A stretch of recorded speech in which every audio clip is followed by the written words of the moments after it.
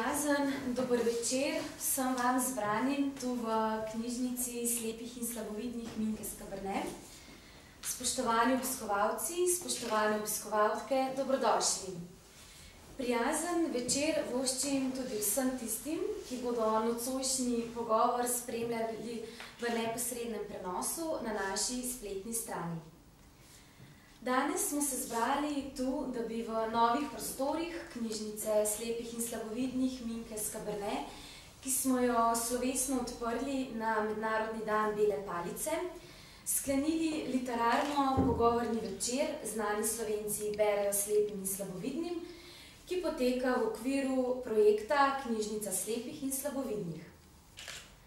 Današnji dogodek smo organizirali skupaj Zveza društv slepih in slabovidnih Slovenije z Medobčinskim društvom slepih in slabovidnih Ljubljana.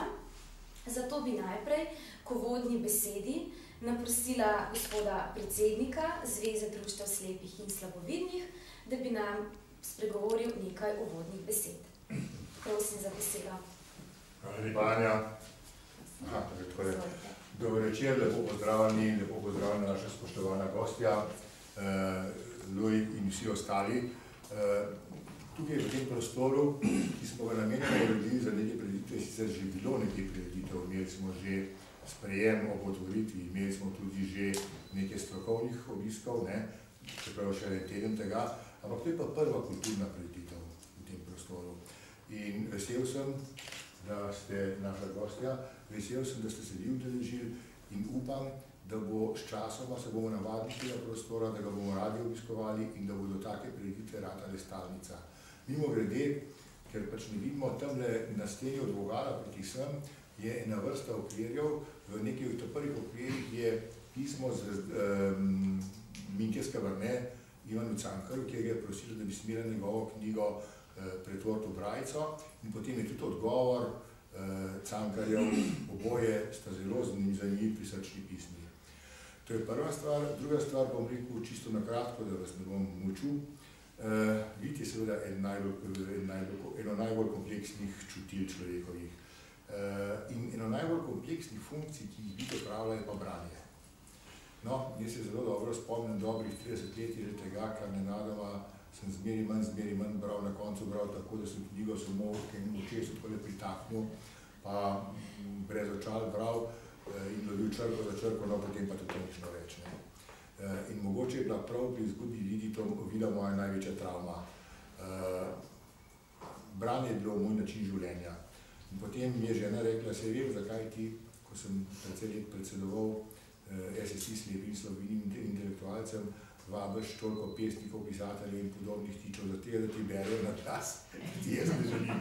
In mogoče je bilo stvar res. No, zdaj bom pa rekel, se pa zahvaljujem Poloni in Zanji, ki se nam danes pripeljali našo gostjo, da upravlja to, kar so mi včas uh, mi počne žena, včas mi počnejo kakšni prijatelji, bralke, bralci, kakšni otroci. Uh, jasno je pa tega zmeraj prevaličično predbelja. Uh, prijetno večer. Hvala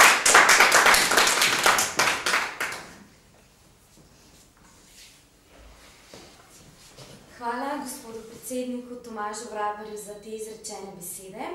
Zdaj bi pa še za nekaj uvodnih besed prosila predsednika Medobčinskega društva slepih in slabovidnih Ljubljana, gospoda Luja Šprohana. Izvolite. Hvala lepa. Vsem lep pozdrav, vsem naši gosti za zadnji markar, sem zelo vesel tega, da bomo danes iz prve roke lahko videli, kako um, gledališki, filmski ali pa televizijski igralec uh, bere ljudem, ki ne vidijo, kamo bere, ampak slišijo. Je fajn. Ampak, veste kaj je, uh, 1825 je, bila, je uradni datum iznajdbe pisavne slepe brajice. In um, s tem sociologi pravimo, da so se slepi iz akustičnih biti spremenili v kulturna. In jaz moram reči, da Preden sem jaz spoznal svet slepote, jaz niti v življenju pomislil nisem, kako pa slepi berejo. Potem sem bil fasciniran, da so pravzaprav hitreji brali, kaj ti je, čeprav sem jaz tudi bil vajen glasno brati doma. Uh, in zdaj, uh, moram pa še to reči, da smo slepi in slabovidni v vseh socialnih kategorijah, preberemo največ beletristične literature. Ne? To je v redu, ne? to je fino, fajn podatek, se pravi, da smo zvesti pravci in danes bomo tudi zvesti poslušalci v stilu vi berete, mi poslušamo. Hvala za enkrat.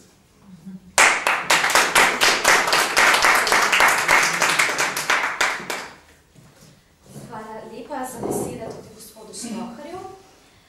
Zdaj pa mislim, da po vseh teh izrečenih uvodnih besedah lahko besedo predamo naši gosti, gospe Zvezdani Mlakar, ki vam bo nocoj povedala marsikaj zanimivega.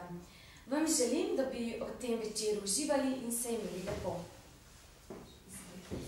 A moram držati? Ne, tega ne potrebujete, imate že... Dovolj močan glas, ja. Mi je lepše in lažje govoriti brez mikrofona.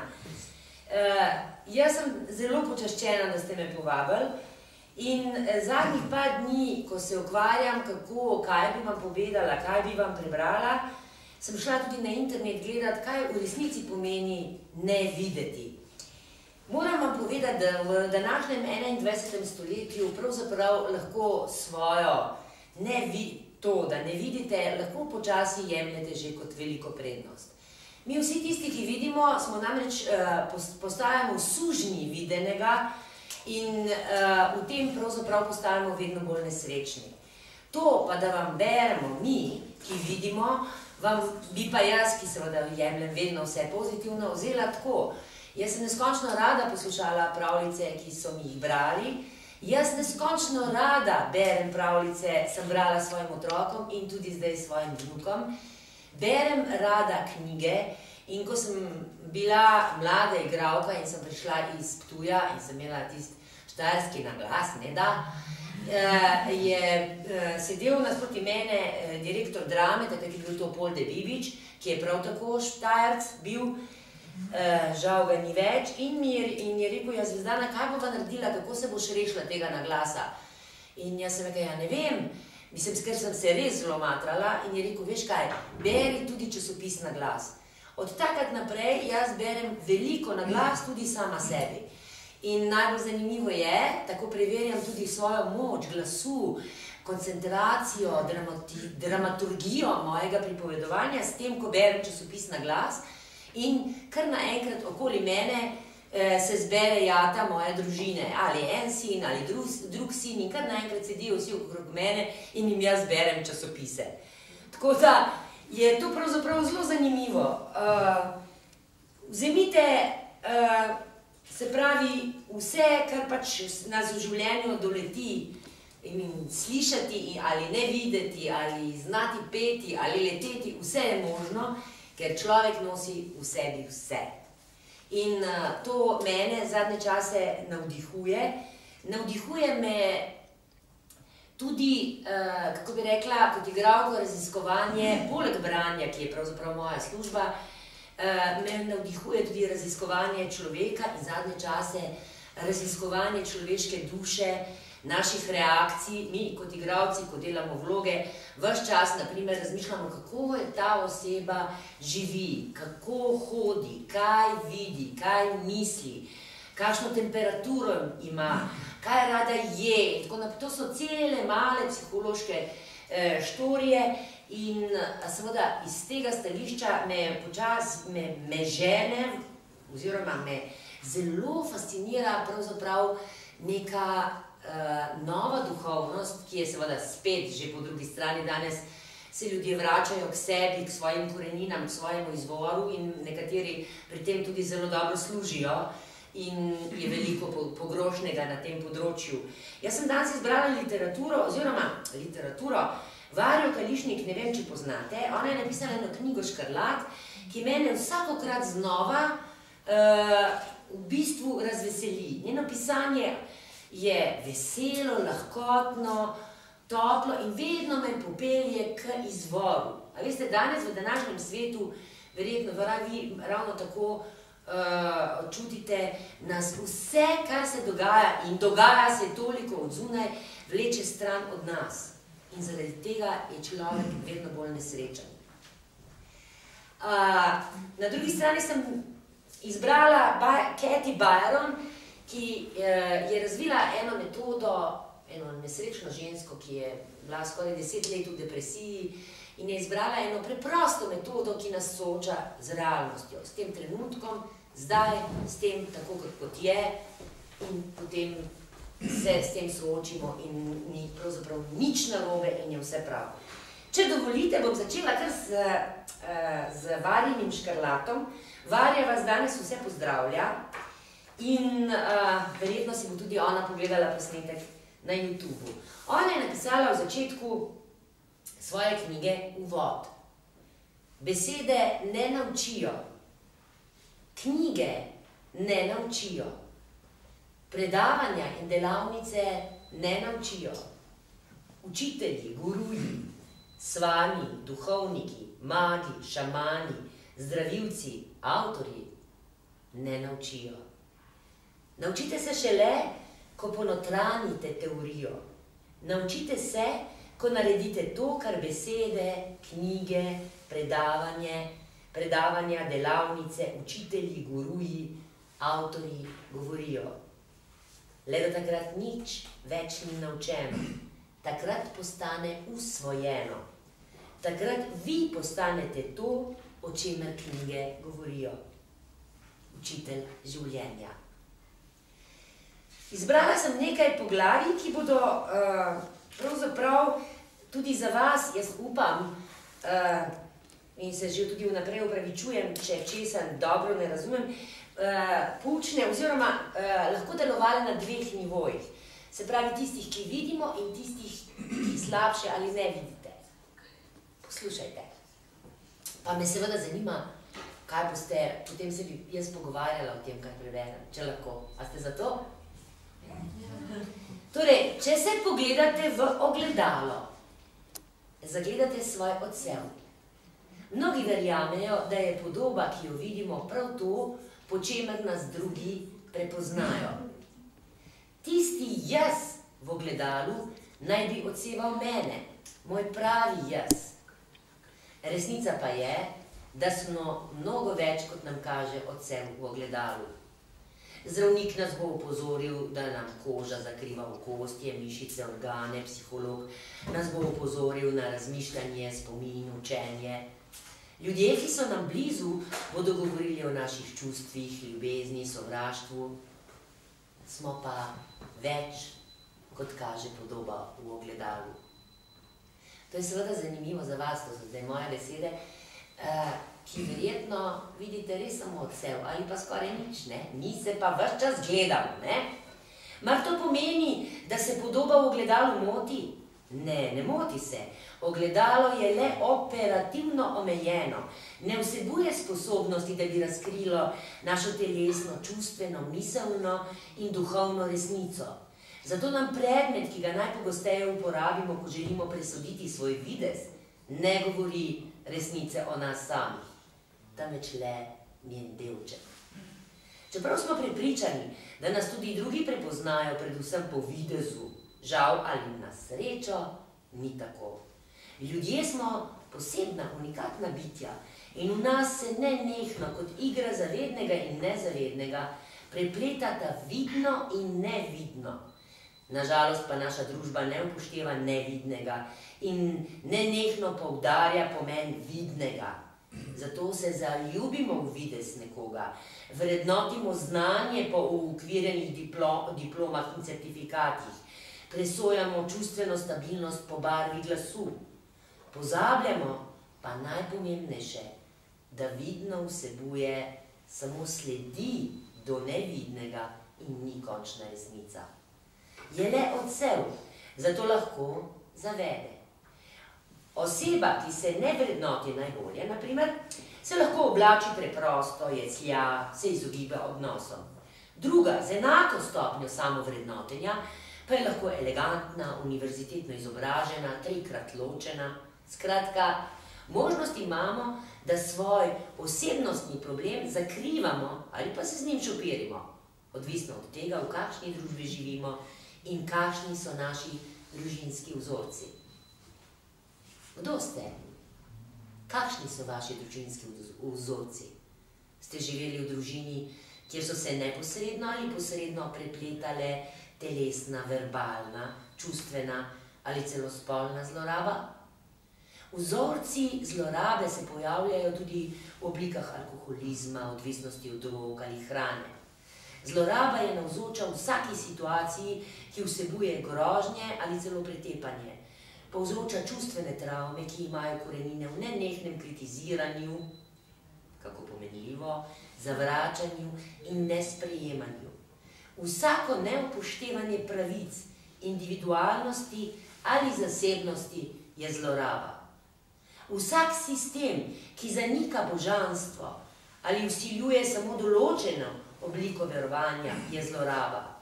Vse, kar nas je kot otroke prisililo, da smo o sebi razmišljali kot o slabi osebi, je bila zloraba.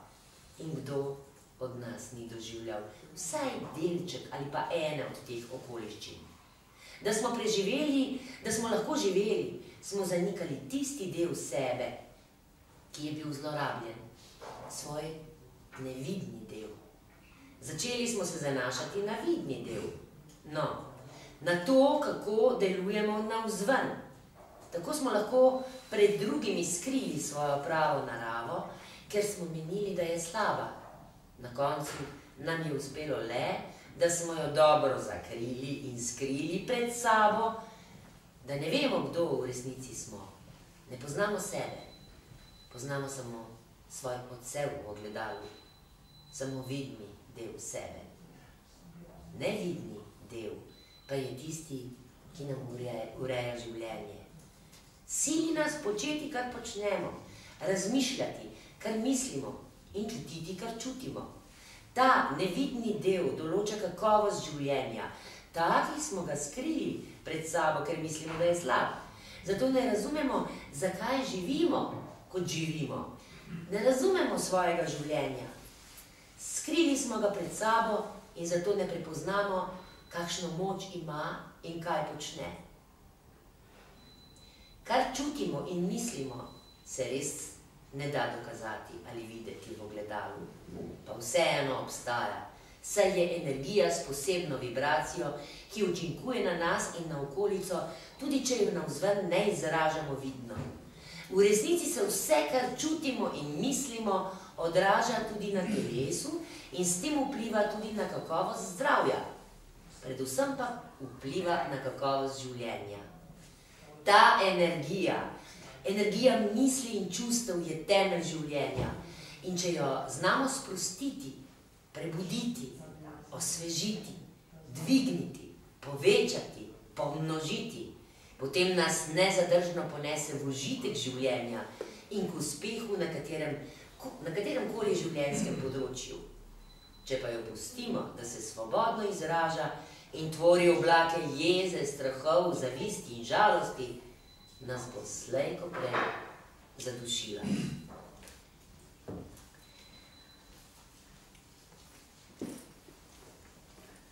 No, in zdaj bom prebrala zgodbo iz njene knjige Pravi pomen miru.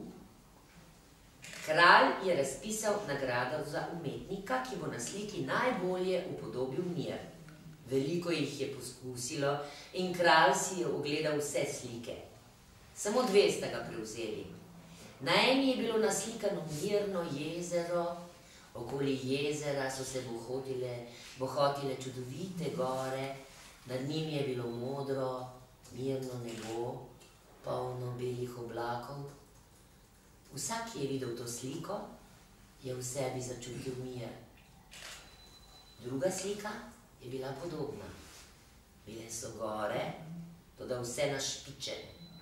Nebo se je jezno poigravalo z oblaki, iz katerih je pršil dež, iz gora se je penil besneč potok, ki je rasel deročo in nemirno reko. Vse skupaj ni delovalo prav nič mirno. Toda, ko je kralj pogledal bližje, je na sliki zagledal majhen grm, ki je rasel iz skale nad pripadom deroče reke. Na tem grmu je ptica spletla gnezdo. Tam, sredi največjega kaosa narave, je ptica spletla gnezdo grela svoje jajce največjem možnem miru. Kralj je izbral to sliko. Katero sliko bi izbrali vi? Zdaj vam bom prebrala poglavje skrivnosti. Če zlekneni v obdobju vajenosti, varnosti in nespreminjanja beremo teorijo, se nič ne zgodi. Če nam je teorija jasna, še ne pomeni, da smo usvojili preizkušnjo, ker se v resnici ne poznamo, sploh ne vemo, kje grešimo. Sama sebi sem čista enigma, zagonetka nerešljivih skrivnosti. Zato potrebujemo ogledala, zato da vidimo odsev tistega, kar ni v redu. Ogledala nam, nam, nam pa nastavljajo ljudje, s katerimi se dobro razumemo. Predvsem pa tisti, s katerimi se ne razumemo in imamo konflikte. Ljudje, ki jim zamerimo, ki jih sovražimo, se jih bojimo, oni so darilo. Če ste jezni zato, ker vas je nekdo prizadel, je to vaš problem. Sej vi čutite, sej vi čutite jezo. Lahko bi čutili odločnost in jasno postavili mejo. Če tega ne zmorete, imate problem vi, ker ne zmorete in ne oni. Torej, zahvalite se človeku, ker vas je opozoril na vašo pomankljivost. Kdo sem, je torej najpogostejše postavljeno vprašanje pri ljudeh, ki se prebujajo. Že tisočletja bega ljudi, iskalce, hrepeneče. Koliko krat ste se v drugem, ki vas je pravkar ranil, vprašali, kdo je, se vas je presenetil, ker takega niste poznali. Pričakovali, da vas bo ranil.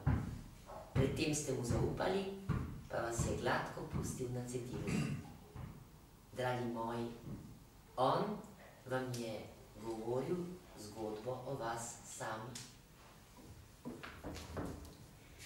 In zdaj bom prebrala zgodbo o skodelici kave. Ni je napisal Cankar, ampak je taka življenjska zgodba. Skupina nekdanjih študentov, večinoma zaposlenih v dobrih službah, je obiskala najljubšega profesorja.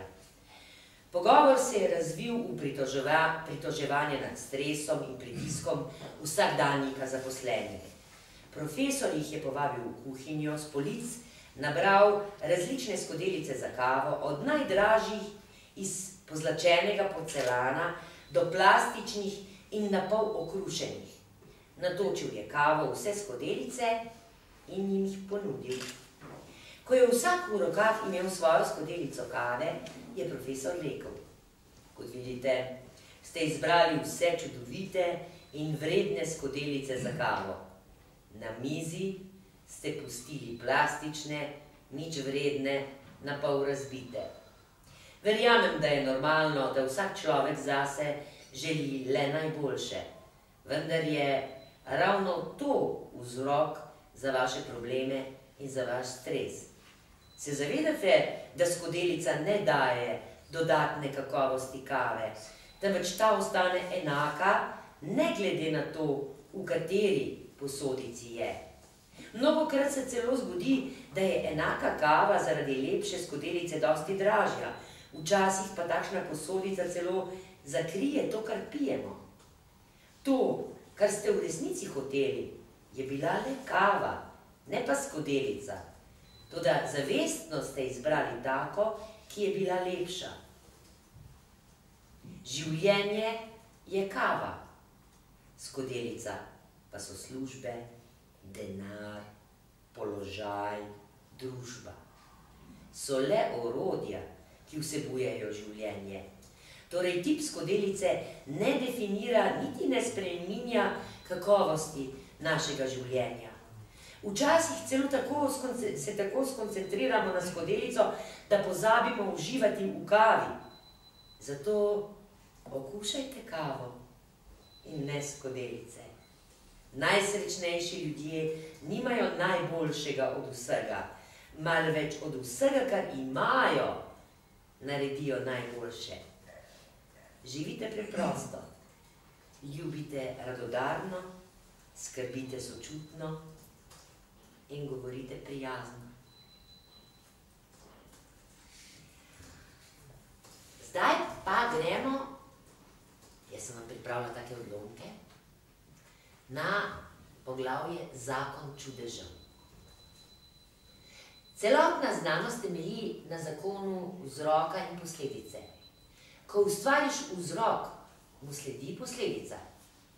Če posadiš seme drevesa, bo zraslo drevo in ne kopriva, ne? Če daš roko v ogen, se boš opekal kaj ne? Obstajal je torej vzrok in temu je sledila posledica. Duhovnost pa pozna še en zakon, ki je globji in z njim se srečaš šele, ko globoko razumeš prvega. Ta drugi zakon se vam bo na začetku morda zdel absurden, to da ne dovolite, da vam ga vaš um zavrne. Raje eksperimentirajte. Ta drugi zakon ali zakon ustvarjanja čudežev pravi. Najprej ustvari posledico in sledil mu bo vzrok. Recimo, da pride na obisk tvoj dober prijatelj. Počutite se srečne in vesele. Prišel je prijatelj. Vzrok, ne? In počutite se dobro. To je posledica. Zakon čudežev pa pravi, bodi vesel in prišel bo prijatelj ustvari posledico in sledil ji bo vzrok. Ni samo tako, da posadiš seme drevesa in drevo bo zraslo. Resnica je tudi, da drevo ustvari na milijone semen, iz katerih zrastejo drevesa. Najprej vzroku sledi posledica, potem pa posledici vzrok. To je veriga, ki postane krok in začneš lahko kjerkoli lahko najprej ustvariš vzrok in sledi posledica, ali pa ustvariš najprej posledico, ki sledi vzrok.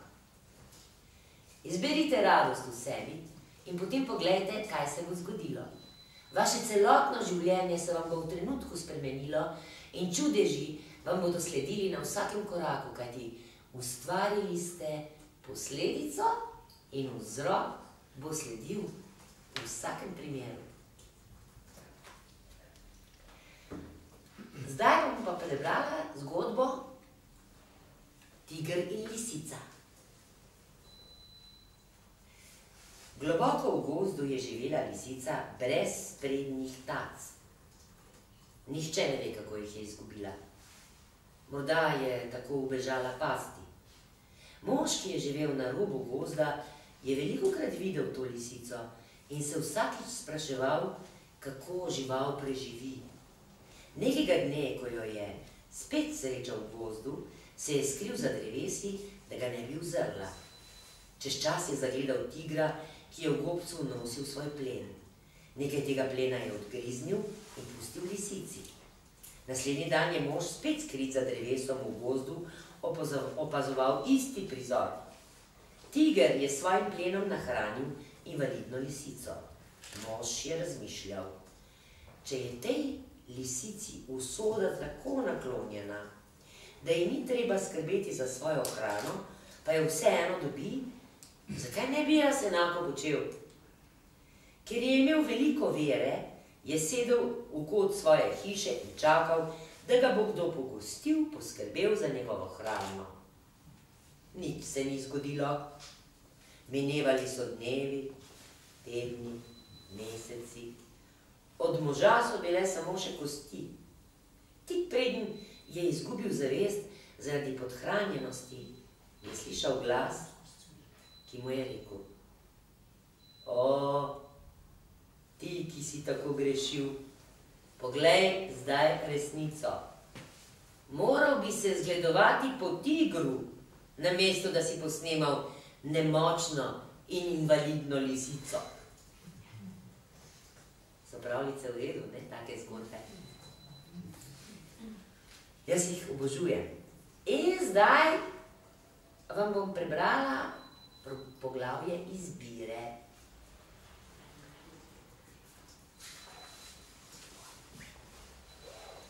Vsak trenutek življenja imate izbiro. Vedno in povsod. In v vsaki situaciji lahko izbirate svoj, odziv. In to v resnici tudi počnete. Vsak človek kreira svoje življenje. Recimo, recimo no, da grem nekomu na živce, da gre pravzaprav nekomu na živce to, kar piše, pravi v tej knjigi. Zato občuti jezo, bes, češ to so traparije, napiše mi obtožujoče pismo, polno kritike. Kakšen bo moj odziv? Na voljo imam veliko možnosti, izbira pa je moja.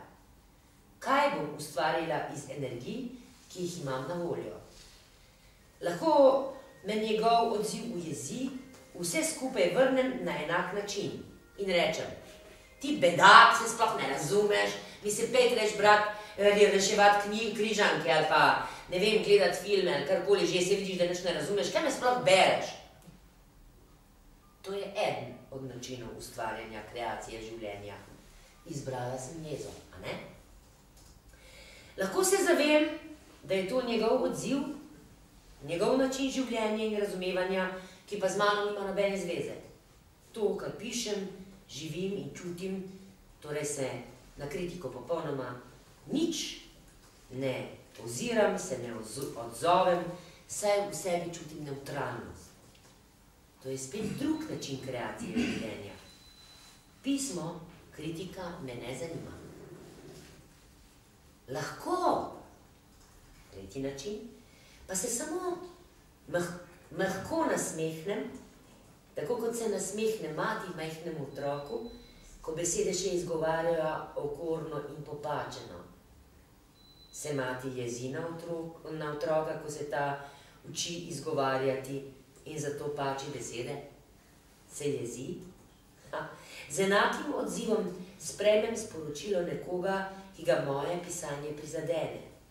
Lahko me celo vodi v razmislek, da poiščem še boljše besede in primere, ki jasneje odstrnejo to, kar trosim v naše okolje.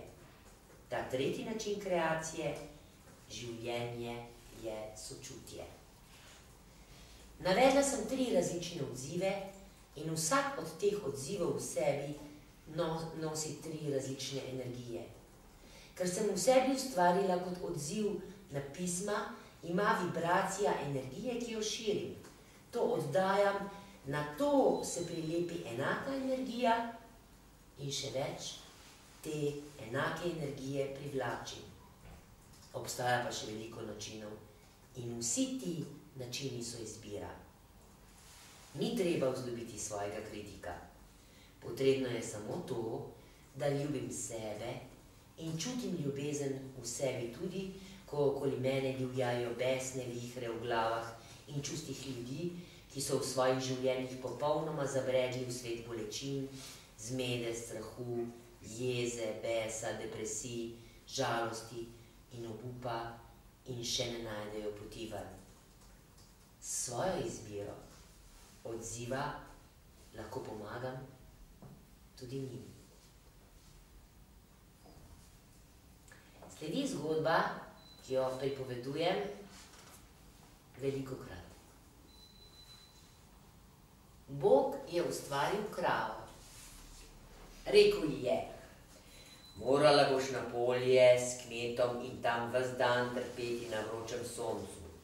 Morala boš imeti teleta in dajati kmetu mleko. Določam ti življenjsko dobo 60 let.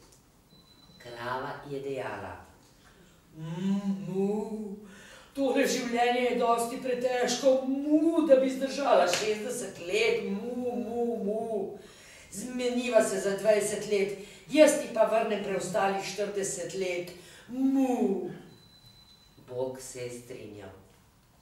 Drugi dan je Bog ustvaril psa. Bog mu je rekel, ves dan boš sedel pred vrati gospodarjeve hiše in lajal na vsakogar, ki pride mimo dajem ti življenjsko dobo 20 let. Pes mu odvrne. Hov, hov, hov. Veš, da je 20 let kar mal preveč. Če bom moral vse življenje lajati, hov, hov, hov, hov, tebi 10 let, pa ti jih jaz vrnem preostalih 10. Hov, hov, hov, hov. In Bog je spet privolil. Tretjega dne je Bog ustvaril opico. Bog ji je rekel, ti boš zabavala ljudi in uganjala norčije, da se ti bodo smejali. Tudi tebi dajem 20 let. In opica mu odvrne. Kaj? 20 let uganjala norčije, to je vendar dolgočasno. Pes ti je vrnil polovico svojih let, zato ti jih bom tudi jaz prav. In Bog je spet privolil. Četrti dan je Bog ustvaril človeka. Rekl mu je, jej, spi, igraj se in zabavaj, seksaj in uživaj. Nič ti ni treba početi. Ves čas samo uživaj. Tudi tebi dam 20 let. Človek se razburi. Kaj? Samo 20 let? A da ne, to pa že ne. Veš kaj, vzel bom svojih 20, pa še tistih 40 od krave, pa 10 od psa, pa 10 od opice. Tako bom imel vse 80 let. A velja? Prav, je rekel Bog. Zato torej prvih 20 let v glavnem spimo, jemo, se igramo, zabavamo, seksamo, uživamo in nič ne delamo. Naslednjih 40 let sužensko garamo, da preživimo svojo družino. Na to deset let uganjamo opičje norčije, da zabavamo svoje vnuke. Zadnjih deset let pa posedamo pred hišo in lajamo na vsakogar, ki pride mimo. Rušna, ne? No in na koncu knjige, sem izbrala sem odlomke, imam še nekaj pripravljen, če, če boste želeli. Uh, Varja reče, semper faj, bodite si zvesti. Budite zvesti svoji svetlobi, želji in krepenenju, ki vas vodita k iskanju notranjega miru in ljubezni. Veliko je bilo napisanega in ob tem, kar sem napisala, vas pozivam k dvomu. Dvomite o napisanem, saj ne vem, ali je prav ali da deluje. Deluje zame, tega ne morem zanikati. Ni pa rečeno, da bo delovalo tudi na vas. Zato si bodite zvesti. Ta konec me mene fasciniral, ker je to pravzaprav najbolj pomembno, da ostanemo sami sebi zvesti. Kaj pa mislite vi?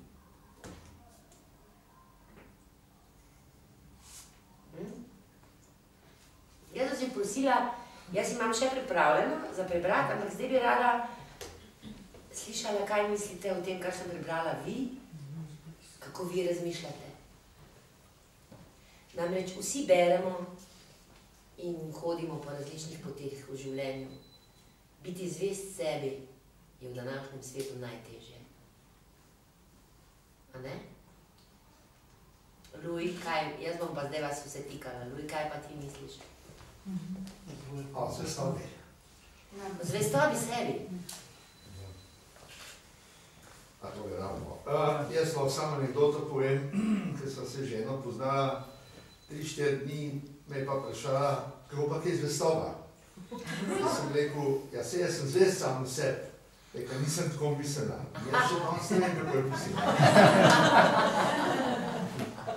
Drugače sem pa jaz mislil vprašati, um, ali pa vas prositi, zdaj, če se bo seveda, če je to želja, tudi ostali bom še bolj vesel, drugače bom pa propadl. uh, jaz bi pa kaj rad slišal o vaši igralski poti, začetku in tako naprej. A ste kaj pripravljeni povedati o tem? Vse, kar me vprašate. Pa začnite od začetka.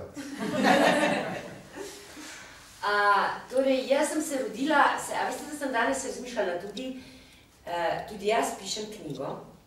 Knjigo si želim napisati že od majhnega, ker zelo rada berem in seveda, če rad bereš, potem tudi rad pišeš, a ne? In si vsaj domišljaš nekako, da se ti zdi, da je to kar tako dobro. Ker pa seveda eh, bereš, ko bereš velikane od Dostojevskega naprej in potem svoje uboge vedne stavke, se ti zazdi, da to pač verjetno ne bo nikoli tebi oziroma meni uspelo in tako sem se v te svoje davne želje poslavljala, dokler nisem spet prišla nazaj in danes res pišem eno tako majhno knjigo o mojem življenju oziroma kako jaz gledam na ta svet. V kateri in v njej tudi pišem, opisujem svojo igralsko oziroma tudi življenjsko pot. Nisem si upala prinesti odlomka, čeprav sem resno razmišljala, da bi vam dala to darilo, ampak sem si pa rek, potem rekla, mogoče sem pa jaz nečimer naj bi, mogoče nekaj, kar sploh ni dobrega, jaz darovala kot darilo. Torej, malo več poguma potrebujem tudi jaz, kaj ne? No, moja pot se je začela, se pravi, jaz sem rojena v Kidričevem oziroma v Ptujski porodnišnici. Moja mama je prihaja iz Kaloških gricev. V mojih žilah se pretaka težko haloško življenje. Ženske, ki so tako trdo delale in živele taka tež, težka življenja, da si mi tega danes pravzaprav skoraj več ne moremo predstavljati. In uh, zaljubila se je v Eisenponarjevega sina, uh, to so bili železničari, ki so pribežali iz uh, Primorske, takrat, ko so seveda italijani vse poganjali čez oziroma osvajali Slovenijo. In ta ljubezen je bila velika, naredila sem je, jaz se še vedno uh, hecam, kadar se peljem na Ptuj, ker moja mama še vedno živi in rečem, v teh kidričevskih šumah so me naredili, In moja mama vedno reče, bodi tiho, bodi tiho. In jaz rečem, ampak vse sta metle naredila, bodi tiho, bodi tiho. Ker mi je enkrat prepodvala, kako sta nabirala jagode. Ne? In tako od tega sklepa, da se, mi, da se je kaj tazga tam zgodilo. Moj oče me v začetku niti ni priznal, oziroma je trajalo tri leta, da sta se poročila.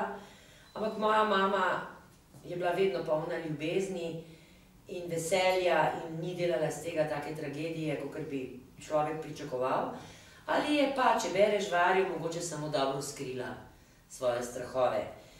Moj oče je bil poseben človek, velik sanjač. Uh, imam mešane spomine na nje. Jaz sem ga seveda kot deklica oboževala, nisem pa seveda ga veliko krat imela možnost videti ali ker je prihajal, odhajal, tako, v to je, so bili še drugi časi. Uh, predvsem pa je, ko sem bila stara šest let, zavedno odšel. Odšel, ker je umrl in to na način, ki ga tudi opisujem v knjigi, ki me je pravzaprav zelo prizadel in zelo zaznamoval za celo življenje. Sam si je vzel življenje in pri vsem tem, vse to sem tudi videla jaz sama, kot šestletno dekletce in seveda prevzela na se vso odgovornost tega dejanja ne hote, ne vede. In s tem se še danes, dan današnji soočam. E, namreč to zgodbo vam pripovedujem zaradi tega, ker mislim, da imamo vsi igravci nek, nekakšne čustvene rane, ki jih e, nekako tudi malce terapevtsko potem cel, celo življenje šivamo in ližemo e, iz, v svojih življenjih. Da, začelo se je seveda tako, da sem v prvem razredu recitirala uh, Župančičevo čebelica, Cici Bani čebelico, še danes je vem, čebelica leti z neba. Leti, leti vse niže in vse bliže, čebelica leti z neba in jaz sem bila čebelica in sem rekla, in uh, uh, ko me Cici Bani vpraša čebelica, od, odkot in kam, te nese, te nese v perot in sem rekla čebeli, jaz sem kot čebelica rekla, ko že kot mehna, Kje pa je tisti ciciban, ki venomer nagaja, ki, manici, ki venomer razgraja, ki mamici nagaja? kje pa je tisti ciciban. No, in ne bom vam povedala cele, v glavnem še danes jo svojim vnukinjam pripovedujem in, in uh, moji sinovi so jo neštetokrat slišali. Uh, tako se je začelo. Seveda sem potrebovala, sem morala imeti srečo na svoji poti, ker me je ta učiteljica našla ali pa zavohala, kot se bi temu reklo, in jaz sem seveda neskončno rada nastopala. Tako da se spomnim, da sem z neko, uh, tudi z neko črtico, sem prepotovala o tem, kako se je Sava razjezil na mamo, za 8. marec to pripovedovala, naj nastopala In, so ma, in sem to seveda verjetno tako ljubko povedala, da so mame zelo ploskale, tako močno in mene je še enkrat pripeljala na oder in jaz sem bila pripravljena še enkrat eno in isto povedati. Ne. Tako da ta resnična ljubezen do nasto, nastopanja je, to se pravi, izrasla in je v meni, čeprav sem se veliko krat pozneje vprašala, ali sem izbrala pravo pot. Potem sem eh, na gimnaziji srečala izjemnega človeka, mladi smo bili v mojih časih, v gimnaziji polni idealov. Danes, ko imam sinova, lahko vidim, da teh idealov ni in da je v bistvu družba res zašla v krizo, ker ni nobenih vrednot in, ljudi, in mladi ljudje nimajo ciljev, nimajo sanj. Jaz sem jih imela, mi smo imeli dramski krožek in k nam je prišel režiser Marjan Kovač, v Mariboru je režiral, drugače ni bil uspešen režiser, z nami je pa delal fenomenalno z mladimi ljudmi in je uh, dajal nam brat Ničeja, Heseja, uh, Dostojevskega, debatirali smo, uh, sanjali, uh, z nami je bil en tujski pesnik, ne znam, ampak jaz ga vedno uh, citiram, Gypsy, ki je rekel, Jaz hočem biti kot krščanski bog, odprt na vse štiri strani, vse se hočem dotakniti, vsemu, dota, vsemu dati svoj pečat, tako, veste, um, mladostna prisotnost, te, da bi hotel biti, vsi smo hoteli biti prisotni v tem življenju. Mi smo z Marjanom Kovačem in z Branko Bezelja, takrat je tudi ona prišla, naredili eno predstavo od Petra Božiča, križišče in zasilni izhod.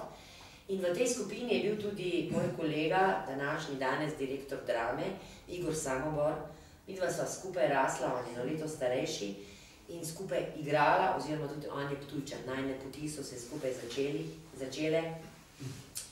In se spomnim, da je naj je takrat Peter Božič celo, o, o, ko je pisal v gledališki list, ko se je neka njegova igra igrala v drami v tistem času, je napisal, da je pa nekje na obrobju Slovenije spoznal dva, mlade, dva mlada človeka, ki raste tam, ne vem, izvrstna igralca oziroma Jaz imam to še danes spravljeno, se, se ne spomnim več, še kaj napisal, ampak res zelo lep kompliment nam je dal.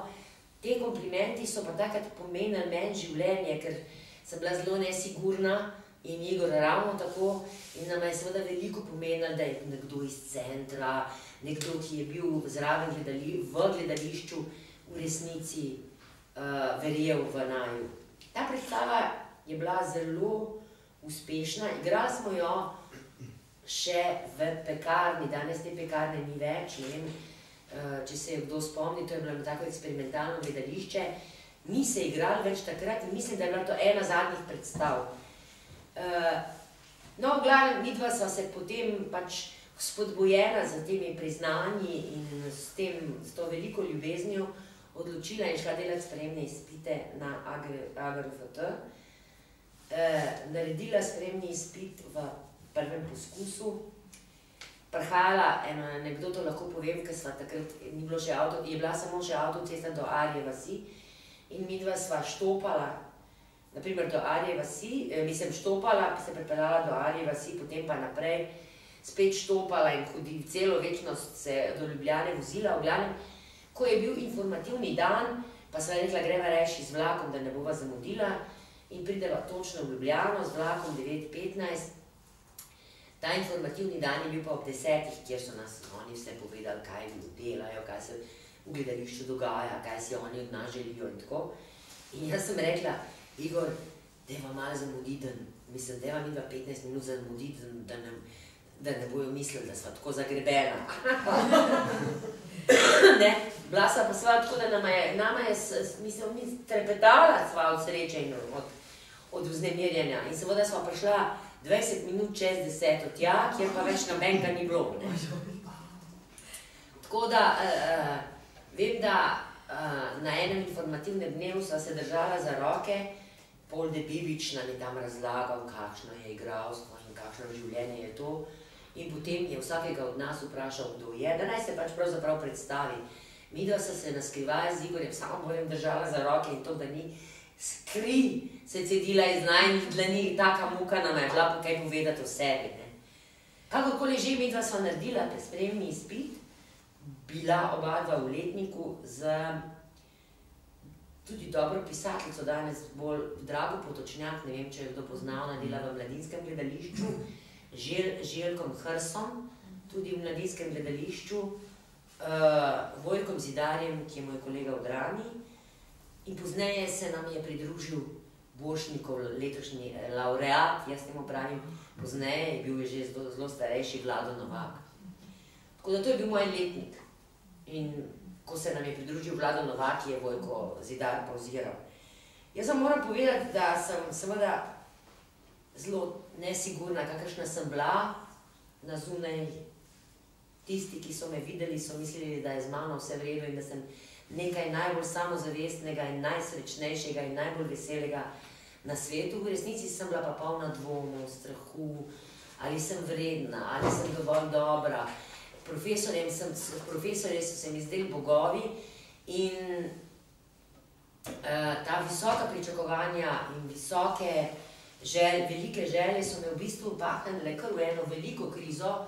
To so bili časi, ko se na, ko akademija ni bila tako na tak način demokratična, kot je danes, kjer igravce, igravcem res prisluhnejo, uh, iščejo njihove naj, njim najbližje izraze in tako naprej. Jaz se spomnim, da je profesor Jamnik, ki je takrat mene od nas učil, hotel od nas, naprimer, mi smo morali gledati kolege na odru, kako oni igrajo en prizor, potem smo si morali pa v zvezek napisati, kaj so ti ljudje delali na robe. Za me je to bila res muka. Jaz sploh nisem človek, ki bi nekaj najprej videla na robe. Jaz vedno vidim najboljše, potem se moram pa fejst potruditi, da vidim kaj slabega. In uh, da pa nisem, ker pa nisem sploh nič vedela, kaj je prav in ni prav, in sem lahko zaupala le svojemu občutku in svoji intuiciji, ki pa se mi je zdela, da mi je že a priori nič ne velja, sem bila v veliki stiski. Desetletja sem se jaz pravzaprav borila s tem, da sem se povezala spet sama s sabo, s svojim bistvom, s svojo močno intuicijo, s svojim močnim občutkom. Namreč nekaj igralcev je izrazito razumarskih, oziroma vse z razumom naredijo, jaz pa sodim med tiste, ki lahko samo zaslutim besedo, eno besedo v celi igri in bom razumela vse. Ali pa ne zaslutim nič zanaliziram vse, pa še vedno ne razumem. Mislim, jaz sodim med te. In se tudi ljudi, mislim, da kot igralka dotikam na tem nivoju, se pravi na teh čustvenih, energijskih parametrih, eh, v bistvu jaz delujem na nek način, kot igralka. Uh, jaz pa takrat seveda temu, tej svoji moči, ki jo imam, oziroma temu svojemu, kar ti vsakmu pač v bistvu vsak se rodi z neko posebno, z, neko, z nekim bogatstvom, ki nam ga pokloni Bog.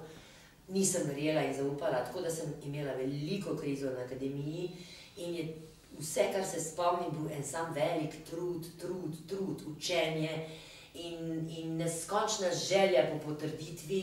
In vse čas sem se želela, da bi, me, da bi me imeli ljudje radi, da bi me priznali, da bi naredila prav. In sem počasi izgubljala sebe, druga avtorica, ki sem jo danes izbrala, zato vam bom zdaj takoj povedala na to. Takrat jaz nisem vedela, oziroma nisem imela molitve, Kati Byron pa pravi, od Kati Byron nisem imela te molitve. No? Kaj ti njena molitev pravi, Bog reši me želje po ljubezni, odobravanju in spoštovanju. Amen. Reši me. No, jaz takrat nisem znala tako moliti in me je v bistvu zelo omejilo, To vam govorim najbolj iskreno in dolga leta si ti to nisem upala priznati. Šele čez, ne, čez desetletja, ko sem nekega dne rekla, ne morem vaš čas, vaš čas samo misliti na druge, vaš čas samo biti drugim všeč, vaš čas samo se prilagajati, jaz moram najti svojo pot, pa tudi če je narobe, v tistem hipu sem v bistvu jaz postala še ne prava ustvarjavka ali pa kreatorka ali karkoli se že temu reče.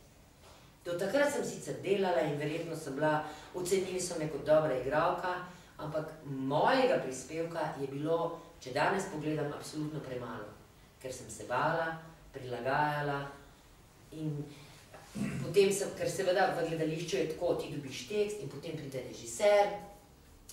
Jaz sem diplomirala iz, uh, iz Ibsenovih strahov, igrala sem 50-letno žensko, ki se je ločila, ki jo je mož mučil sinom, ki je prišel nazaj, ki se je vrnil s sifilisom uh, in, in v bistvu je umira na rokah z eno grozno družinsko skrivnostjo in tako naprej. V glavnem, pri 20-ih si lahko mislite, da se mi ni sanjalo o, o takih to, in to vrstnih bolečinah.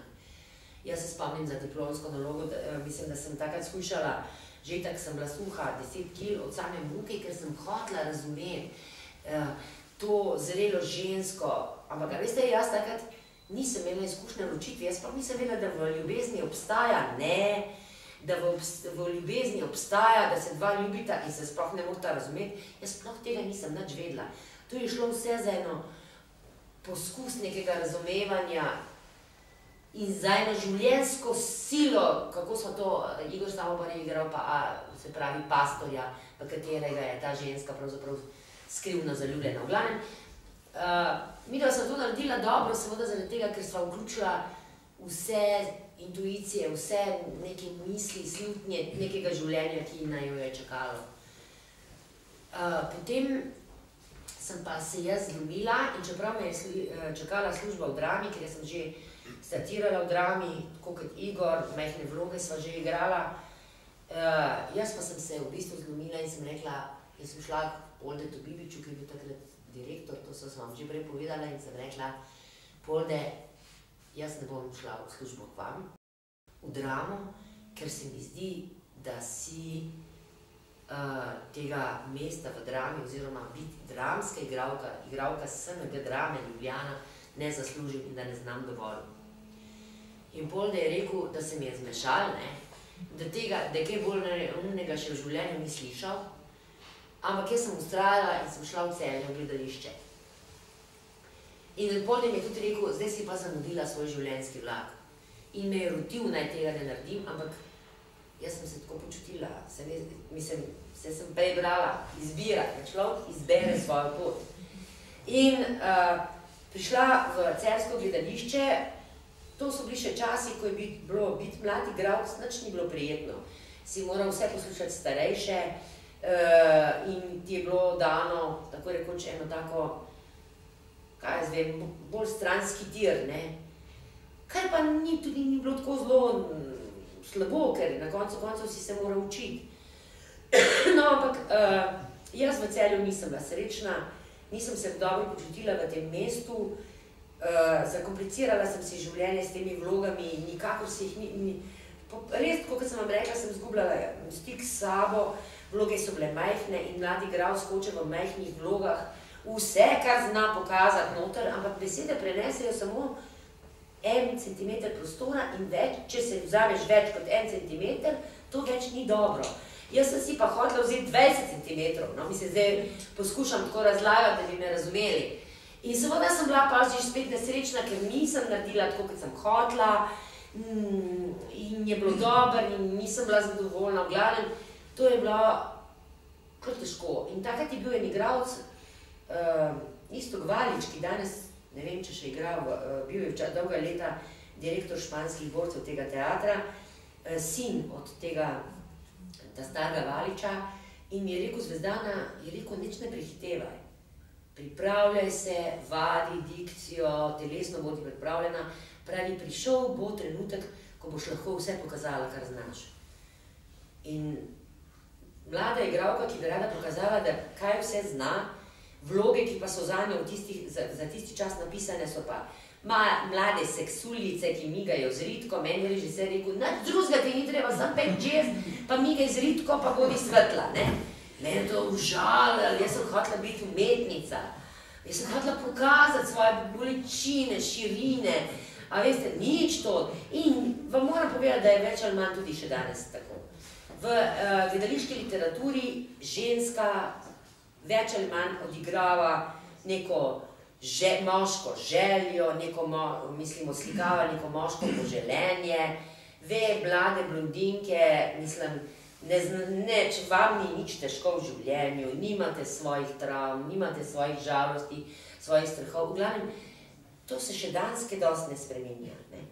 Torej, pravzaprav je to en tak boj z mlini na veter na nek način, ker si vse to želiš. No, ampak jaz sem potem uh, v tistem času uh, zanosila in rodila svojega prvega otroka. Uh, moja zveza takrat ne je razpadla, otroka sem uh, v bistvu, uh, oče mojega otroka je bil zelo znan slovenski fotograf, ki danes več nič ne dela, ampak lahko vam povem, da je bil pa res nor. Ampak nor v enem takem fajn, fajn uh, kako bi rekla, fajn, če nimaš otrok, pa če nimaš vsak dan, če ni vsakdanjega življenja. Ne?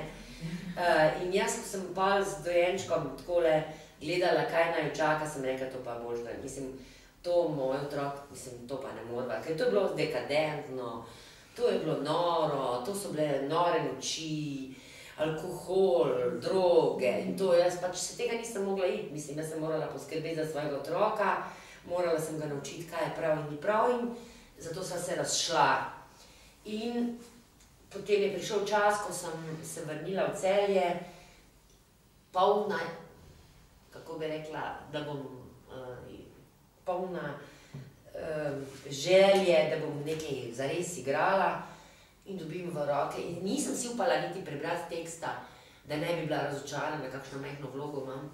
In dobim, vlogo, in dobim tekst na, na privatarju in vidim tako dva stavka, da imam zapovedati v tej igri, ki bi jo se morala pripravljati dva meseca, pa pol se voziti iz Ljubljane v celje, pustiti otroke in tako naprej. In vam povem, da se mi je utrgal. In grem, mi smo se vedno sedimo za veliko dolgo mizo, in se po, mislim, na bralnih vajah.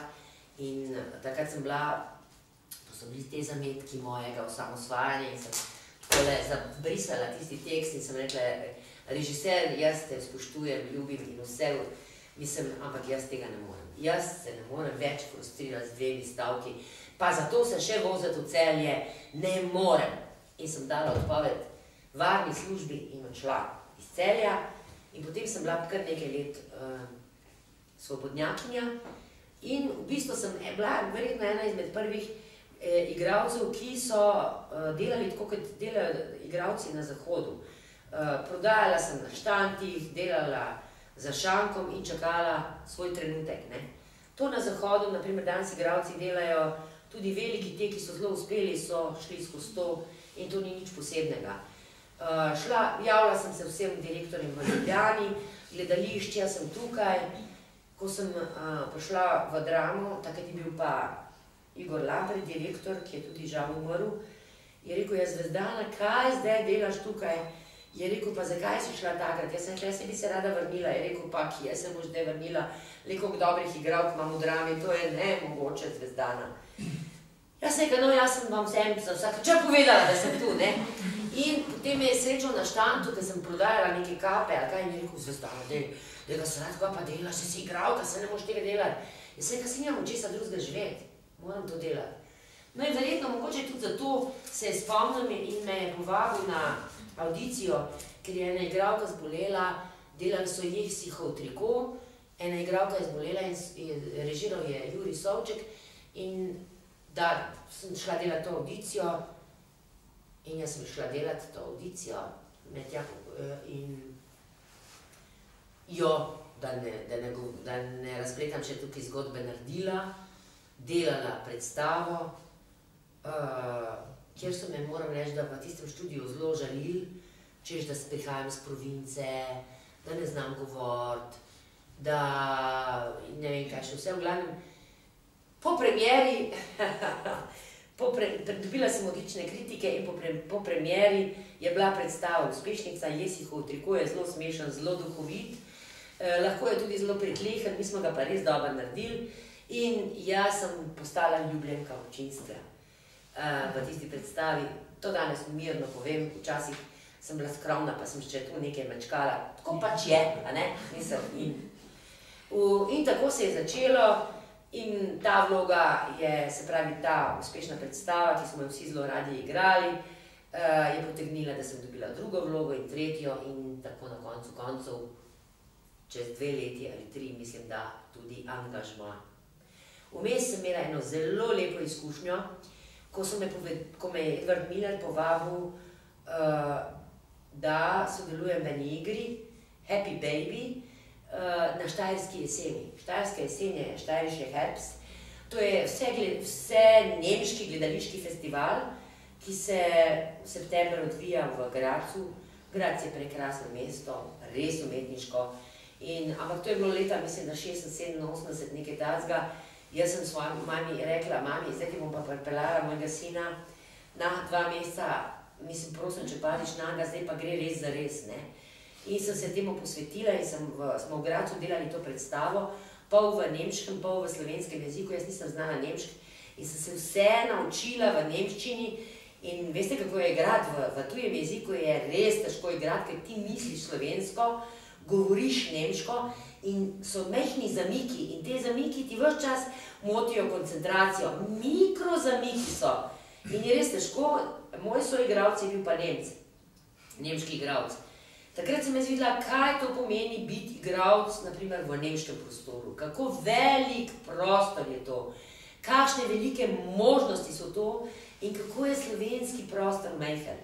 No, pa takrat smo imeli še jugoslovanskega, pa je to še nekaj zgleda. Danes smo slovenski igralci v enem majhnem prostoru, zbiti in nimamo na skoraj nobenih poti ven in še seveda zdaj vse te razne, razne ministrstva in te krize in vse to še to nam bi radi, nas bi radi kontrolirali, da bi morali, za vse, če gremo vam brat, ali pa če gremo v kakšno drugo gledališče gostovati, ali pa karkoli vse bi nas radi kontrolirali, hočem reči, zelo, zelo vse kulturi nasploh nič kaj dobro ne piše, no, ampak hočem reči, nismo uh, igrali pa, o, je se je šla o tem, da je on bil Gaster Berter in jaz ga pridem obiskati uh, v Nemčijo in po, tam zanosim, in mi dva nama ne uspe, in glavno pozabljena od sveta, rojeva v enem, v enem liftu, živiva v podzemlju. Uh, igra je zelo, bila, zelo na kožu pisana Edvardu, Edvardu Millerju, ki ga zelo cenim. To je en, igra, en režiser, ki je naredil eno neskončno, neskončno dobro predstavo, tudi v Gleju, Ela se je reklo, ki je od Nataše Barbare Gračne, Matjaža Tribušona, to so horde igralcev, so uh, generacije uh, igralcev, je v bistvu spodbudila ta predstava, ker so bili tako fascinirani in so šli potem delati spremne izpite. Ne? No in je, Edward Miller je to uh, igro režiral z občutkom, jaz sem igralka, ki potrebujem svoj prostor, to pomeni, da mi mora režiser zaupati. Da če režiser pride z izdelano sliko, kamor se moram jaz samo še umestiti kot kockica, to je za me res težko. In nima, ni, mislim, ne delam tako rada, rada delam tako, da imam odprte tekste, da on pove, kaj si predstavlja, da jaz povem in da to nekako sestavljamo, da je to v bistvu res sodelovanje. Uh, jaz sem takrat, vam moram povedati, dobila v življenju najboljše kritike v takih pravih nemških časopisih. Jaz tega nisem nikomer nikoli prepovedovala, niti objavljala, niti se s tem hvalila. Mene so povabili takrat delati tudi v nemški teater v München in če bi se takrat odločila, bi lahko tudi šla to delati. Namreč bila sem zelo uspešna in dobila sem celo nagrado, na ta, mislim, v obliki honorarja, tako da sem si takrat pol kupila stanovanje v Ljubljani in rešila svoj stanovanski problem. To je sreča, ali? Po vseh teh nesrečnih dogodkih in vseh teh zapletih in tako naprej, sem jaz takrat v bistvu v, v enem letu se je vse sestavilo, spet nazaj, šla sem, mislim, potem sem dobila angažma v drami, tu sem, mislim, tukaj smo naredili tako dobro predstavo, zelo zaslužila sem z njo, kar je danes, je tako nemogoče. Tako da je, jaz mislim, da se v življenju vedno vse sestavi tako, kot je treba. Ne? In res vam povem, verjamem v to. Eh, potem sem pa srečala svojega današnjega moža. In seveda, odvisna od uh, direktorjev, ki nas zasedajo, ki nam pravzaprav kreirajo uh, naše karijere, do danes zaljubljena v teater, samo to lahko povem, naredila kar nekaj zanimivih, zanimivih predstav, na katere sem ponosna, da sem lahko v njih sodelovala. In uh, pravzaprav imela eno fajn življenje, igralsko. nikoli nisem delala preveč, nikoli, mislim, uh, kako bi rekla. Če bi mi nekdo, danes mi namreč moji kolegi pravijo, da sem bila včasih prezrta kot igralka, da sem bila premalo za delati, pa vam moram reči, reč, da ni res. Jaz sem vmes rodila še dva otroka, torej imam tri otroke, vedno, vedno sem bila ustvarjalna. Uh, ker sem se v mestu spraševala, če kdaj nisem dobila neke vloge, ki sem si jih želela, ne? pa sem rekla, pa se, ja, ti si pa tako slaba zvezdana, pa glej, se si ne zaslužiš pa tako. A veste, človek je ustvarjalen vedno, tudi ko kuha kosilo, ko naredi pogrinjek, ko oblikuje vrt, ko urejuje hišo, ko urejuje svoje misli, piše, riše, mislim, in potem sem nekega dne ugotovila, da jaz pravzaprav sem. In ne rabim samo teatra, Teater je en del mojega izražanja, v katerega sem zaljubljena in v katerem vsake toliko časa zacvetim, ker, je, ker se pač v teatru dogajajo čudeži. Jaz sem igrala potem, eh, ker sem tudi dobila nagrado, naprimer od eh, Dragice Potočnjak, tekst Metuljev ples, ki ga je režiral Kavaca. To je bila fenomenalna izkušnja. Potem sem igrala v prah se povrneš od uh, Harolda Pinterja, uh, z Igorjem Samomorjem igrala, uh, režirala njegova žena, danes direktorica, uh, gospa Fink. Uh, ja, in to je bila tudi izjemna izkušnja, izkušnja ženske z otrokom, uh, mora, mislim, ki gre v taborišče in jo vzamejo dojenčka. To so bile neverjetne izkušnje, kjer sem preverjala svojo igralsko moč, disciplino, jasnost. Potem smo igrali uh, od Sarah Kane, samo en, ki je pol naredila samomor, uh, razmadežna, Lorenz je režiral, kjer se nam je skoraj vsem utrgal, pet in šest igralcev in smo bili na koncu tako črni in tako depresivni kot Sarah Kane. Jaz sem prišla domov in sem pogledala otroke in posodo in kuhno in sem mislila, da sem, da sem jih mogli kar zmešali, ker sploh nisem vedela, kaj to je. Moj mož je bil takrat zelo dobro, dobrotljiv, tako le me je po po ramenu, po, po trepljanju, rekel: No, zvezdana, kmalo se vrni. Kot kar k nam.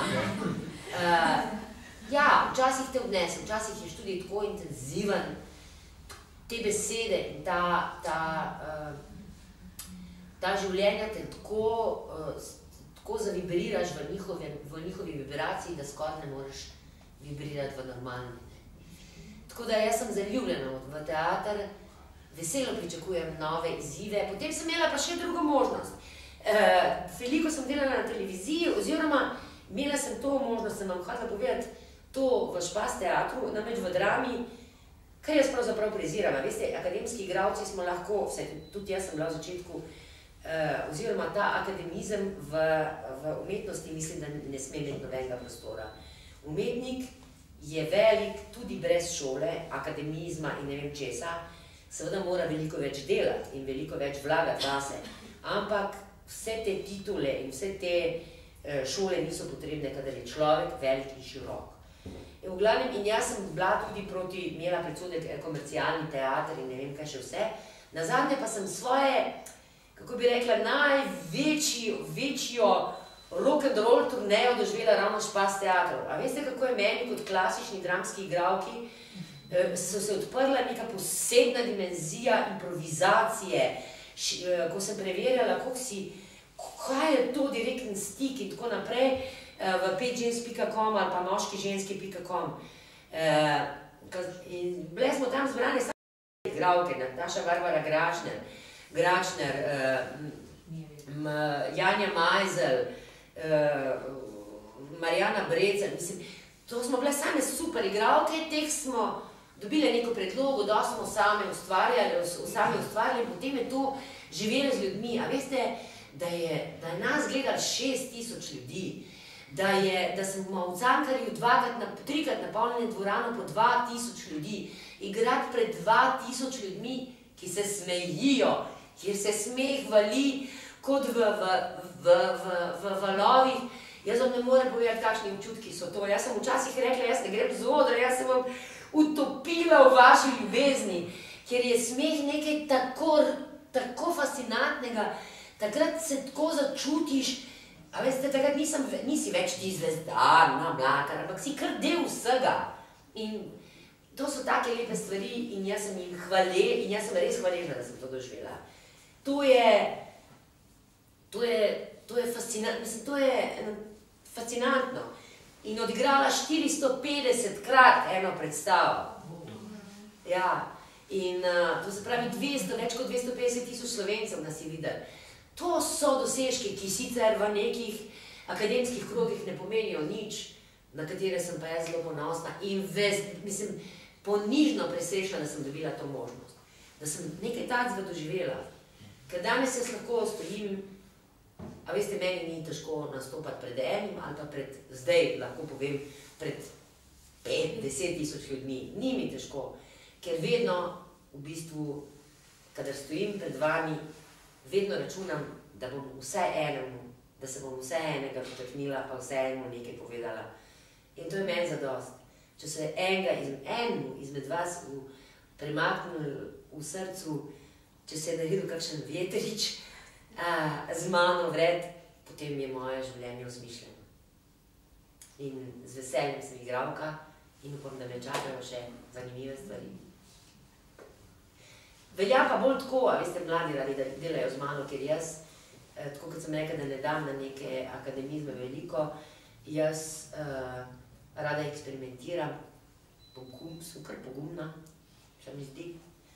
Se, veste, kako pogumna sem, tako da me sicer stiska, da me je strah, ampak si rečem, nač, probat moram, pa kar pa bo, pa bo, se bom živa ostala, verjetno, ne. Če pa ne bom, tako kot naprimer jaz živim na kmetiji, pa imamo tam okrog medvede, pa mi včasih rečejo ljudje, ja, se ne bojiš medvedev, ja. Ja, se jih bojim, ampak jaz hodim po gozdu, če me bo pa, veste, medved požrl, ne, ali pa medved ubil, potem pa, lejte, bo pisal zvezda, pa bom slavna zaradi tega. Medved je pojedel zvezdano mlaka, ne. ne tako, in tako tudi v življenju.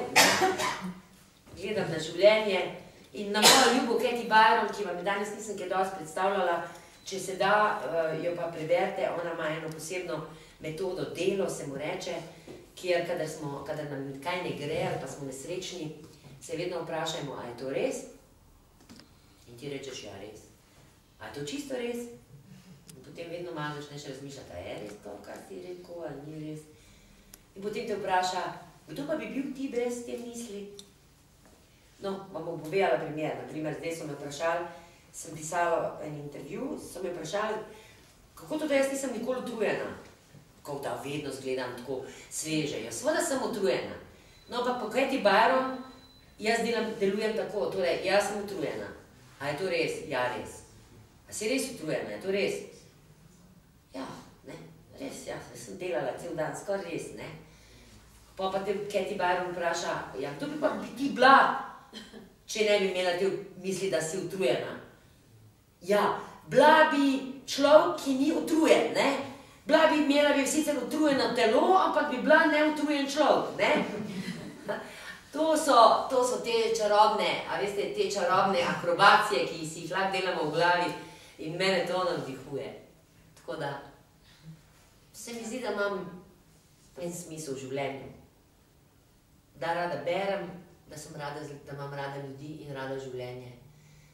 In da sem vedno bolj skromna v tem smislu, za, in hvaležna za vse, kar se mi je zgodilo, tudi grdega in slabega.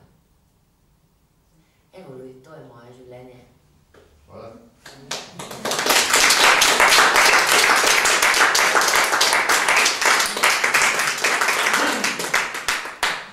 No, ste še kaj vprašali?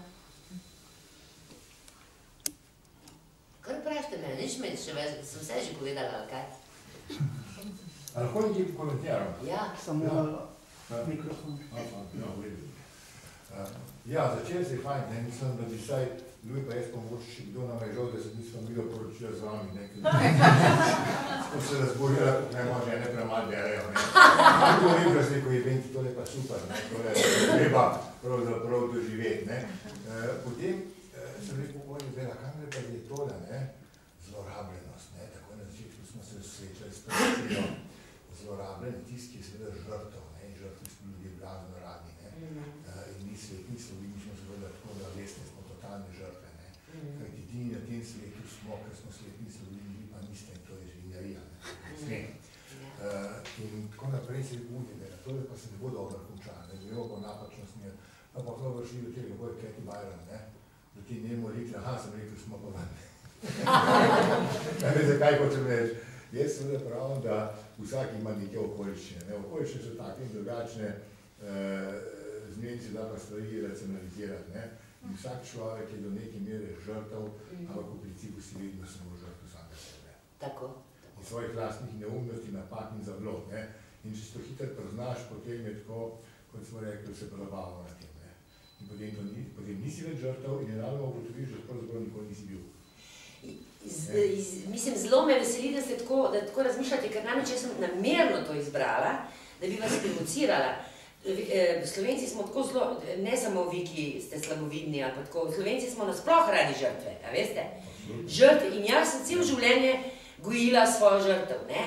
Mislim, vedno sem bila, sem se, ja, žrtev, pa tako.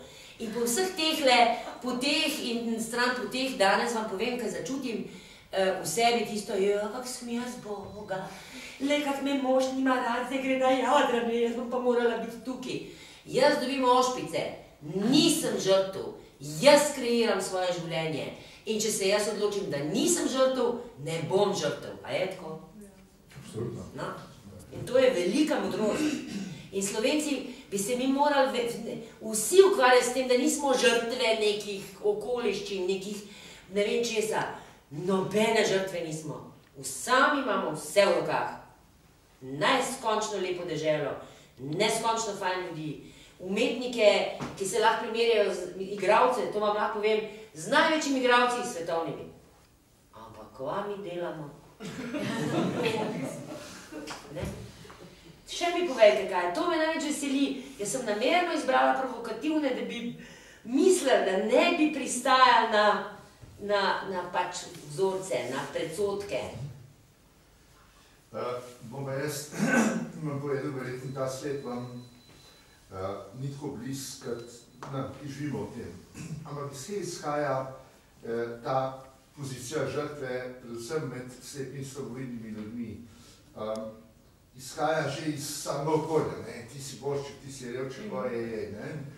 Uh, slepi slabovidni ljudje dosti poslušajo že svojega okolja, ker so že kot otroci taki, Uh, potem kasneje uh, naredi seveda, ali pa je naredil zavod za slepe slabovidno mladino, ki je pač bil takrat na posebna šola za slepe slabovidno osnovna, potem kasneje še srednja. In tam uh, so v večino ljudi učili biti slep, ne pa biti, za, da je to slepota kot nek spremni pojav, ampak to je naše bistvo.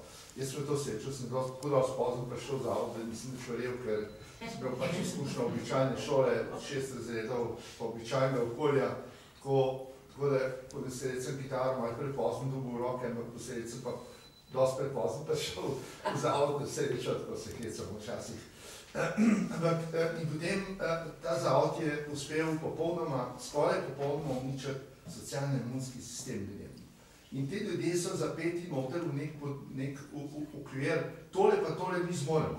Včasih je bil to, da so bili telefonisti, potem recimo eh, fizioterapeuti, to so že intelektualci. Ne, te pa da je nekdo eh, šolo naredil, jaz se z diplomo si še riti ne moreš obrisati. Ne. Ampak če pa potem službo dobi, eh, seveda je imel klubir, pa tam je kolega pomagal, pa vzel očeta poznal, pa take fine. Ampak vendar ne, vsi, ki so diplomirali v 70-ih letih, pa v 80-ih še, so dobili službo izven inštitucij zvez slepih. In so tam so rezistirali z tega, da se pač to ne grejo. In um, ne, vem, jaz osebno, ko sem se odločil, da, da ne bom telefonist, pa da bom šel um, ne vem, študirati, uh, najhujši odpor je bil strani slepih ljudi. Najhujši. Kaj si pa ti misliš, da si ti nekaj več kot mi? Skratka, ta identiteta te drugačnosti je bila tako močno zablokirana v, v ljudeh in vzajena, da so bili vsi, ki so poskušali glavo malo dvigniti iz tega ven bolj goljeni. Ampak seveda, nekateri smo zoprni in se ne damo in stajamo na svojih poteh in prebijemo. In na koncu, moram pa povedati, ko ste omenili uh, Partliča, ne, pa te fante dol iz Maribora, pa vodeta, nekoč je bil Partlič gost uh, v, v društvu slepih. Aha. In je rekel, ja, sej, uh, sej, mesite slepi ljudje, kakšni pa še kaj tudi naredijo, ne, sej, vsi pa niso tako potlačeni notne. Poglejte, no, sam poglejte, on je moj prijatelj z Ljubljane, Luj, šprohat, ne, se, dajte, doktorat pripravlja. Takrat so se vsi zaupili, še že doktoriral, ne, s takim, ne, če šta pa ne vene. In jaz sem bil prav ponosen, to sem gledal na konc, na konc bo pa še celo to ljudem nekaj pomenilo. Se mi je tudi to, ko sem to hotel, pa sem nekaj dolgo neč več, ne, a to Ja. yeah. nič posebno, ampak Ja. Ampak to je vzorce in zato jaz pravim, da se veliko mojih uh, znancev in, in nekaterih uh, takih in drugačnih uh, ima določene zasluge znotraj slepote. En je prvi bral, Brajevo pisal, prav drugi šel prvič s psom, pa s palco, tretje pa nisem nek računalniški sistem noter, program. Skratka, jaz sem pa zmeri igral vlogo ideološkega virusa. Vedno sem razbijal tisti konoklas, ne, tisto razbijanje Ne, jaz se ne grem tako, jaz bom šel pač po svoje. Seveda zdaj, če greš proti vetru, je hudo, ne, če si sam. Ampak, ko pa prebiješ to, ne, sej, človek malo prosane gate, pa nič hudo, pride pa mir, ne. Ja. In to je pol vedno tistega, kar, ne, ker um, to ste vi rekli, ne, zmeri sem dvomila o sebi, zmeri, zmeri. Jaz pa ne bom, jaz sem pa, jaz sem pa nek obraten problem, zaradi tega sem največ žal življenju, ker sem bil zmeri uh, zaresno prepotenten. In, in uh, jaz bom, jaz bom, jaz bom. Ne? In uh, zato mi je pa to težji svoje otroke gledati, ki pa res pripadajo generaciji, ki nima tako izostarenih ciljev, nima uh, izostarenega smisla, meni časa škoda. Meni je bilo spati škoda, ko sem bil 22-25 let. Sem rekel, to se dogaja, jaz bom pa spal. In pa recimo, mi smo imeli pa še razlika, mi smo imeli za cilj v naših letih svobodo. Čim prej prestali stran, Ja, svoje zube, ja. daro, šteka, Ja, ja. bolje oblečen, bolje obut, tako repuco in tako naprej. Ja. Eh, generacije pa eh, temeljni In pa vsi. Samo da ne mi zdaj ne še jutri, ma kako vidite, ne. Važno je, da so se vredili, da se danes spino imamo. Kdaj še naslednji žur, v tem smislu, ne? Ja, tle se, tle se razlikujemo, ampak jaz vam ne obupat. Uh, moj fotelj je tudi, pa kaj bom, ka, kakšno penzijo pa jaz dobil, če pa je takih huligani s kitarami, pa se nasmi pa tole. Kdo pa delal? No, pa je dočakal penzijo, to ne slabo.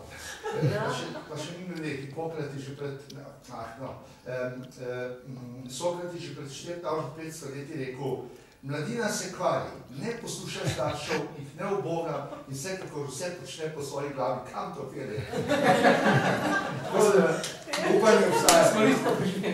Ja, ja. Hvala, hvala vam, v mojem mnenju sem rekel. Hvala vam, duhovito. To je bil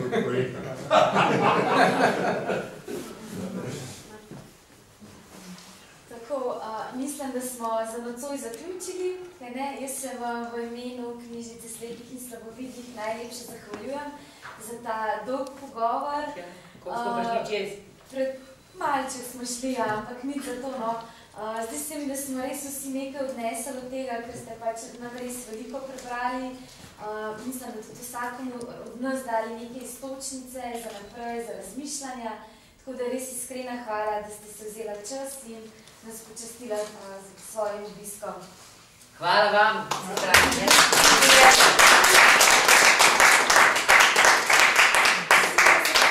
ostalim uh, najlepše zahvaljujem, da ste se odzvali današnjemu dogodku.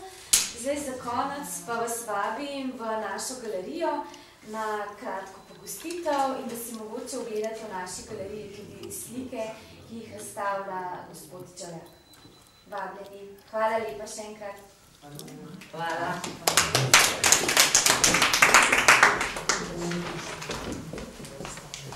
Uh, Imaš? Čeljak.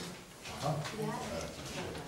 Evo, imam še eno protokolarno dolžnost. A res? Eh, Kaj pa je noter? Morda pa ena, ena, ena mehna korupcija.